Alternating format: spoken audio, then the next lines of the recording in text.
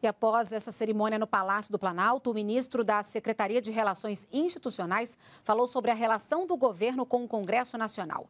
Padilha destacou algumas pautas consideradas prioritárias e disse que a expectativa do governo é contar com a colaboração dos partidos.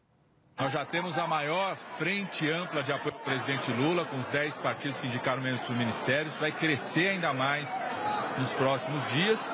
E acredito que nós vamos também contar com a colaboração de partidos que hoje se declaram oposição, mas que, dependendo dos temas, podem votar junto conosco. Já aconteceu isso na aprovação da PEC no final do ano.